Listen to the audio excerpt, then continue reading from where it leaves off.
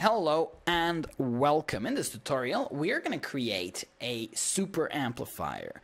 This is also called the Darlington transistor, and it consists of basically two NPN transistors. We're going to use the 2N3904s that we used before.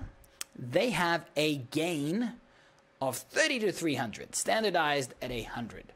Now, what the super amplifier, or the Darlington amplifier, what it does is it gets these two transistors lined up in this configuration so that the current going through the base of the first gets amplified, say by 100, and then that amplified current goes into the base of the next one and gets amplified again, so by 100. So we, we're going to get, you know, 10,000 or 10,000 plus, somewhere thereabouts, amplification. And let's let's zoom in on the breadboard and have a think about how we can make that happen. So, I'm just going to place one transistor down, and then I'm going to look at the image and have a think about it. So they're going to have a joint collector. So the collector is sort of the opposite. It's sort of the bottom one right here. That is the collector. So that guy is going to be joint. And then the base of this transistor is going to go into the emitter of the other one. So we're going to have like, there's going to be a skipped leg, something like that.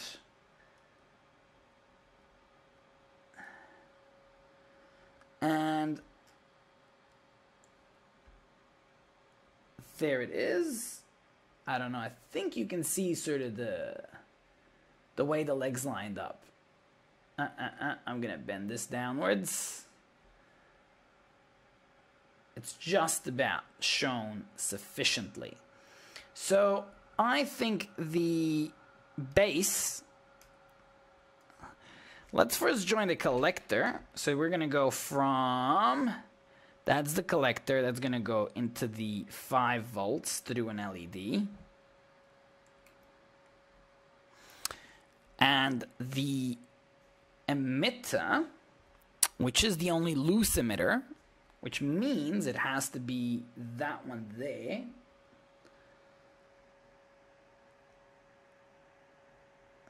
Is going to go into, in fact, maybe I'm just going to use one of those blue ones that we had before. Will it reach? No, it won't. What about this one?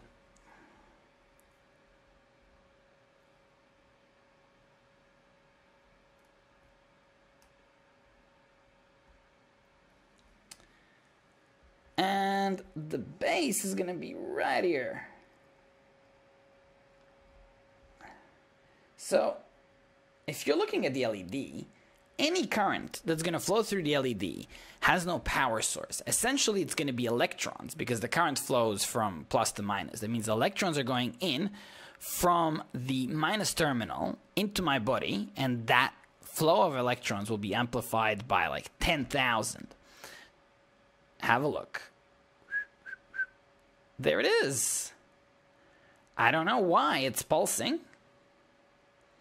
Quite interesting. I cannot see any pulse, but there is one. I can see it on the screen, my own eyes tell me that its uh, light is relatively constant. But that's pretty amazing. And I think something happens even if I just touch the wire on the outside. So there you see it. Highly, highly interesting. This is current that is going from the breadboard into my body, just a few loose electrons having that effect multiplied. And this is how antennas pick up um, radio waves. Essentially, they go through amplifier configurations similar to this one. So very, very slight electrical fluctuations um, that you know are essentially all around us get amplified by you know tens of thousands even millions of times and they get processed into signals. So there it is. It's a lot of fun to play with. Quite fascinating really. Okay. Bye bye i'll see you in the next tutorial